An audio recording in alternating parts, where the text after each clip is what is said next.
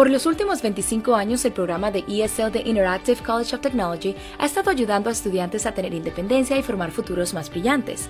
El programa es garantizado, las clases son enseñadas en inglés, con horarios flexibles, con cursos por las mañanas y tardes. También estamos autorizados a proveer forma I-20, matrícula asequible, con beneficios aprobados para los veteranos y asistencia con búsqueda de trabajo. No permitas que el no saber inglés te impida alcanzar tus metas. Aprende inglés hoy. Llámanos. Hola, ¿qué tal amigos del mundo hispánico? Les saluda Camila Daza y gracias por estar conectados con nosotros en este resumen informativo donde les brindamos las noticias más destacadas del día de hoy. Y de hecho nos vamos a trasladar al condado de Gwinnett donde una familia de nuestra comunidad hispana está pidiendo ayuda para encontrar a Brian Estrada. Veamos. Brian Estrada desapareció el 7 de octubre y se notificó de su desaparición cuando una persona del condado de Conegaga, Alabama, encontró el auto de Brian cerca de su casa. Y al llegar la policía descubrieron que el auto estaba prendido y con la puerta abierta. Nos comunicamos con Adriana Valdivia, la madre del hijo de Brian, que tan solo tiene seis años, y nos dijo lo siguiente. Encontraron su carro prendido con la puerta abierta su teléfono adentro, su laptop, su, computadora y no han podido encontrar a Brian. Han usado ah, perros de K9 y han buscado por el aire con el helicóptero para ver si han visto algo y todavía no han podido coger información de Brian.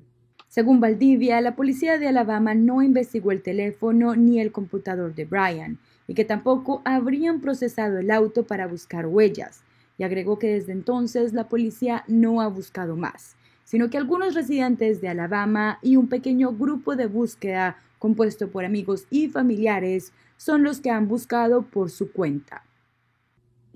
Yo he tratado de trabajar con la familia a coger más información de la policía. Um, fuimos, yo fui a Alabama para hablar con la gente, si has visto a ellos, puse flyers y todo, pero todavía nosotros no tenemos respuestas a nuestras preguntas.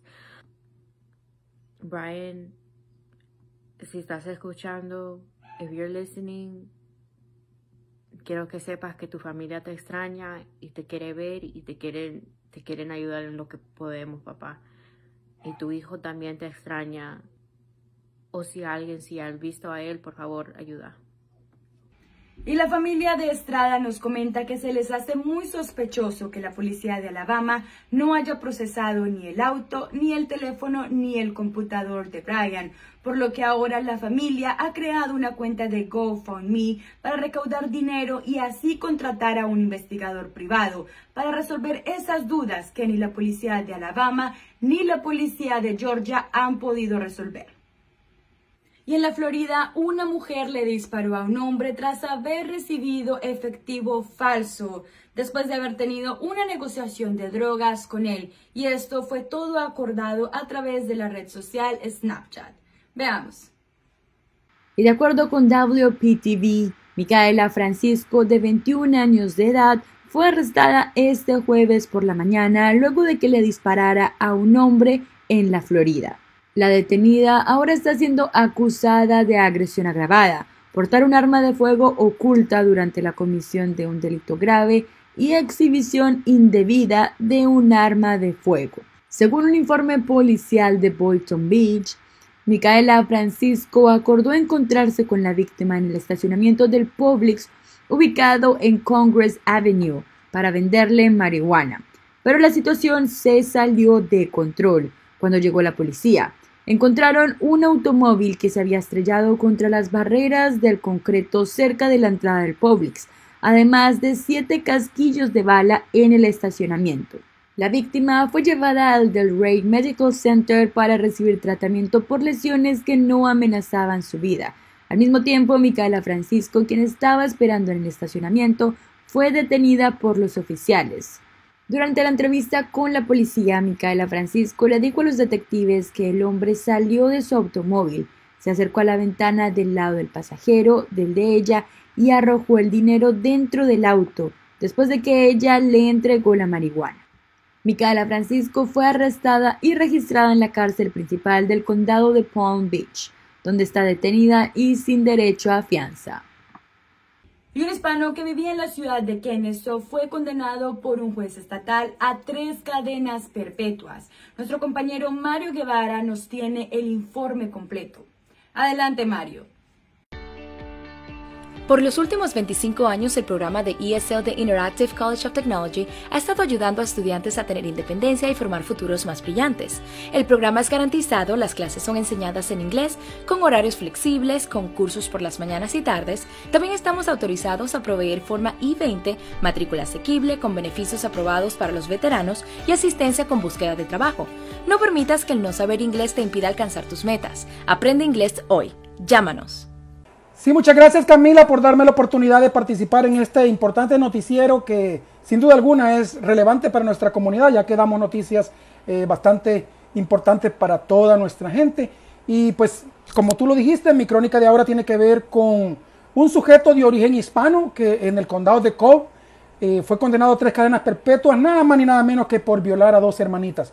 No eran parientes de él, este tipo era un roommate él rentaba una habitación ahí, pero obviamente aprovechó esa oportunidad para ganarse la confianza de estas criaturas inocentes, de estas criaturas ingenuas, convencerlas. Básicamente no las convenció, sino que a punta de mentiras y engaños las violó.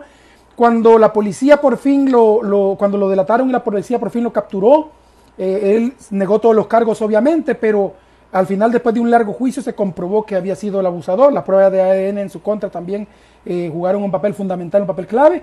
Y ahora el sujeto va a pasar nada más nada menos que tres cadenas perpetuas. Esto fue aquí en el condado de Cobb, en el estado de Georgia. Sin duda alguna un recordatorio para todos los padres de lo importante que es eh, el hecho de no meter a personas de, bueno, desconocidas e incluso conocidas, porque se ya sabe de que la mayoría de abusos sexuales eh, ocurre por personas allegadas a las víctimas. Así que es muy importante que nosotros sepamos eso y que estemos bien al pendiente, ya que hoy le pasó a estas dos criaturas, mañana puede ser cualquier otro, ¿verdad? Gracias Camila por darme este pase eh, y muy buena tarde a toda la audiencia de Mundo Hispánico. Hasta pronto. Y gracias por mantenerse conectado con nosotros en Mundo Hispánico. Ya sabe que solamente estamos a un clic de la noticia. Que tengan una excelente noche. Por los últimos 25 años, el programa de ESL de Interactive College of Technology ha estado ayudando a estudiantes a tener independencia y formar futuros más brillantes. El programa es garantizado, las clases son enseñadas en inglés, con horarios flexibles, con cursos por las mañanas y tardes. También estamos autorizados a proveer forma I-20, matrícula asequible, con beneficios aprobados para los veteranos y asistencia con búsqueda de trabajo. No permitas que el no saber inglés te impida alcanzar tus metas. Aprende inglés hoy. Llámanos.